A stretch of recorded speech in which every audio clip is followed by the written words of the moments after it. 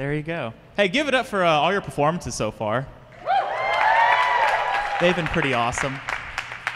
But yeah, I actually uh, grew up in Dallas, and I rem- there you go. It's a town nearby. Woo! But uh, no, I remember we'd drive through downtown, a bunch of little kids in the car, and we'd get to a certain spot in downtown, and my dad would go, "Boom, boom." Those were the uh, those where JFK got shot. But still, it would always be like a surprise to us. We'd like, ah, kind of jump back. But it became like a family game where we'd have a bunch of little kids in the back going, boom, boom. It's like a good man died here. So our family could have an inside joke. It's a, I think it's a beautiful thing in that. There you go. But no, I feel like uh, we have Dallas has to double up on security whenever like an important person or president comes into town, because that can't be what we're known for. Like JFK's a mulligan, just, just under the rug. Don't worry about it. It's like no, if it happens like twice, that's what we're known for. Be like Nashville, the home of country music. New York, the city that never sleeps. You can't have Dallas, where important people go to die. It's like we're a, we're a positive town. You can't. Ha- we're not like L.A. Like L.A., where dreams end and porn careers begin. It happens. Yeah, there you go. Yeah, there you go. Sasha Grey did it. It can be done. That's not an awe. It's a person that did that thing. But all right, no. but uh, no, I feel like uh, you can get away with a lot of stuff once. But that second time, that starts defining you. Like, say you move into a new neighbor, ah, new neighborhood. A dog goes missing. You throw a barbecue. That's a, that's a weird coincidence. Second dog goes missing. Second barbecue. You're eating those dogs, and we are on to you. Like you've got to cut that out. But all right, my uh, my dad's getting a little he's getting a little older, and uh, the family doesn't really know if he's getting a little senile, or if it's early onset Alzheimer's, or if he just watches way too much Fox News. It's always we don't know. We were kind of worried. We don't know to be worried. It's always just like global warming's BS. We got a Muslim in the White House. Where, where are my mittens? My hands are cold. Yeah. I feel like in 20 years, Fox News is just going to slowly devolve into like an endless reel of dogs barking with buzzwords popping up on screen. like it'd just be like a pit bull chained to a tree somewhere, just "Roo, roo, roo, taxes, Roo, roo, roo, immigration, Roo, roo, roo, collards. It's Fox News saying it. It's Fox News saying it. but all right, I used to actually uh, used to be a scuba instructor in Thailand, so that was kind of a cool gig. But I lived in like near the beach in like this terrible house with like five other people. It was awesome. But one of my other roommates happened to be an American, and so we are like, hey, we need to do like a little cultural exchange, do something American for the house. So we threw a toga party. Just because nothing, nothing says America like appropriating another culture is an excuse to binge drink. Gold medal every year. Every year. We get that. But no, so we threw a toga party, and I just like used the bed sheet on my bed. So I had this long, flowing pink toga. And so we all go to the bars on like little 110cc scooters. I get very drunk. And then I ride home on that scooter in my flowing pink toga. Just living life, cruising down a hill. And then my shoulder strap, it comes undone. Do I care? No. Living life right now. And then it gently touches the back tire. Some of you know what happens next. So then the toga is then sucked off my body. And I don't know about you, but when I wear a toga, nothing underneath. There you go. Round of applause. There you go. My mother raised me right. But so then this, uh, the back tires become, become encased in a blanket. I lose traction. I crash the scooter. Yeah, yeah. I'm bloodied. I'm beaten. I'm a little bruised. But I pick up my, I pick up my scooter when I hear something behind me. So I crashed in front of a bar with a patio. There's about 30 people just laughing their asses off at me. Notice I didn't say 30 people rushing to the aid of the hurt man in the street. No, no, laughing their asses off. So I'm sitting there trying to fight the blanket out of the back tire, and I can't do it. So this Thai guy from behind the bar comes out. He kicks it up on the kickstand, starts unspooling it. And I just have to sit there in front of all these people just.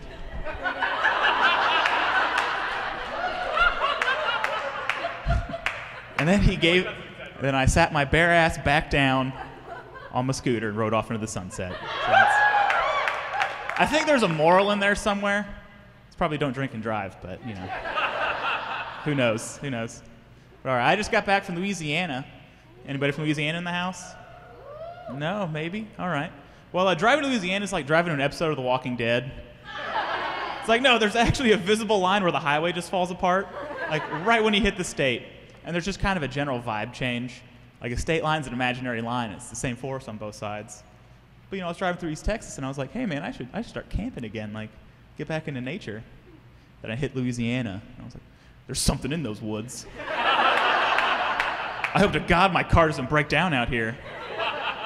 But no, Louisiana, like a lot of important stuff happened there. It's a chapter in every history book. But that was a couple hundred years ago. Like it's time to take a long, hard look at yourself, Louisiana. Like, Louisiana's just like Madonna. It's like, yeah, you had your time. The world moved on. Like, just, just put some pants on. Just, that's all. That's all we want. That's all it is. All right, guys. Texas. Texas has its faults too. So you know, it's, it's way too hot, and Ted Cruz exists. It's okay. It's okay. But no, I was driving on a highway and I saw a billboard, and all it said was "Teachers wanted. When can you start?" Is that how we're getting those nowadays? It's like, no, I know our education system isn't the best, but billboard teachers don't seem like a step in the right direction. It's like that seems like a real tough interview. It's like, so uh, how'd you hear about the position? It's like, well, I was driving a liquor store and boom, sign. Figured I'd come check it out. But no, if that's how we're getting substitutes, I don't really, really want to know how we get actual teachers, or if that's how we ah, mess that up. There you go. If that's how we get teachers, I don't want to know how we get substitute teachers. Like it's just whatever. Like kid starts growing facial hair first, he just takes over. L- Lord of the Flies style. Yeah. You can sacrifice a piggy or two for the sake of a classroom. That's it's a Lord of the Flies reference because I, I stopped reading a long time ago. But yeah, that's okay. That's okay. there, woo! We all get it. All right. I feel kind of guilty that uh, such a beautiful performance was uh, right before me, and now I'm going to talk about blowjobs. But hey, yeah, there we go. There we here we are. Here we are. Let's let's cross this bridge together, folks. But no, I remember I had like a uh, this was like in high school, and I had like a bragging moment in the locker room, and I told my buddy, it was like, hey man, girlfriend gave me four blowjobs last night, and he was like, I had sex once. I was like, oh, that sounds way better. But and then looking back on it, four blowjobs in one evening, that's entirely too many blowjobs for one evening. It's like, no, no, sounds great in theory. Sure, it sounds great. But that fourth one's gonna be like 30 minutes long and toothy. People get tired. People get tired. We're all human beings, all right? But no. The last one, she's gonna look like a jaded vet with PTSD, just dead shark eyes looking back at you. Just what's this gonna take? I guess, yeah. I guess, I guess in retrospect, I should have uh, stayed with that one. But you you live and you learn. Yeah, I'm having fun. there you go. I actually lost my virginity to that girl, and uh, she wanted to be special, and I wanted to kind of be right in like that moment in time. So I got romantic quickly. But I called my oldest brother and I was like, man, what do I do? And he was like, hotel room. I was like, nailed it. So set it up and just went to the hotel room and uh, just out of impulse, I turned the TV on just for background noise. And boy, am I glad that I did. Because I lost my virginity to the sweet and seductive sounds of The Bourne Identity. you know, the, the Matt Damon movie? But no, I always have a special place in my heart for Matt Damon. It's like, I like to imagine he was in that room whispering words of encouragement to me. It's like, yeah, you like apples? How about damn apples? It's a, that's a Good Will Hunting quote. That's a, uh, that's a good one. All right. I uh, think it's funny that McDonald's advertises the fact that it serves real meat. You can't just say you don't do a bad thing and get credit for it. It's like, really, that's just one word away from like a confession. It's like McDonald's. We serve real meat. Now, we we honestly don't even know what it used to be. Like that's, or like Nike was another company that did that too, where it's like Nike, we don't use child labor anymore.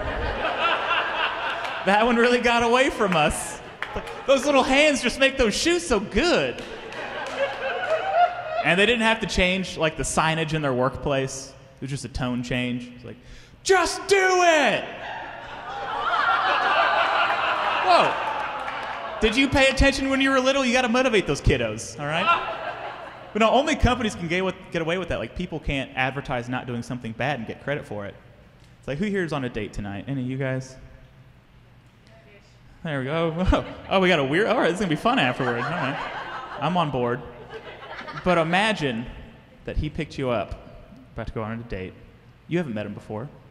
And he looks over at you and levelingly says, Hey, babe, I totally don't murder people. tuck, tuck and roll. Get out of that vehicle. It's gonna be the one that does it. All right, guys. I'll leave you with a. Uh, I'll leave you with a joke about Jesus. No, I grew up going to church. I grew up going to church. It, it's it's stuck. I feel like, but uh, no, my favorite saying growing up was, uh, "Jesus is my lawyer, and he's never lost a case." That's fantastic. Then you spread that message out more. Where it's like, Jesus is my car salesman. And it's always 0% APR financing. Jesus saves, folks. Jesus saves. Or Jesus, captain of the big old ship called Life Jesus. Jesus is my gardener. And that one's the truth. Jesus is a very nice man. It's a, it's a Hispanic joke. But no, I feel like uh, Jesus is my lawyer and he's never lost a case. I think it's just like the skeezy image we have of lawyers today, but I don't see lawyer Jesus being a good thing. You know he'd have terrible commercials. It's like, I'm Jesus Christ, the Texas Redeemer. and I will forgive you of your sins in and out of the court of law or your money back. It is Yahweh or the highway.